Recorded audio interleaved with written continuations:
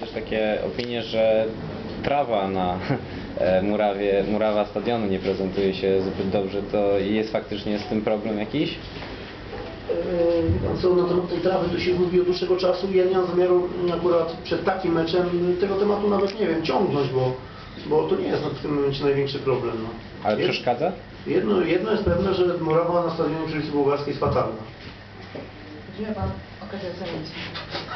to fatalne, natomiast nie mam zamiaru na temat murawy dyskutować, yy, nie wiem, szukać yy, dziury w całym, czy, czy będzie murawa taka sama i dla Sparty, i dla Lecha i na tym skończyć.